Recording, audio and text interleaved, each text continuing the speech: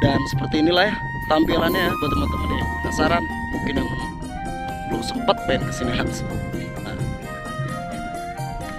ini ya. Dan di sini tuh panas cuma anginnya tuh dingin. Oke gua alhamdulillah udah sampai di sini udah tenang lah.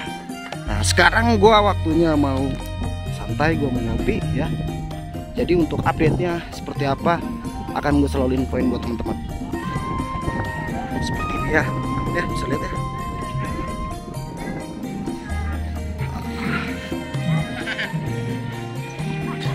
Ini hari Sabtu jadi lumayan rame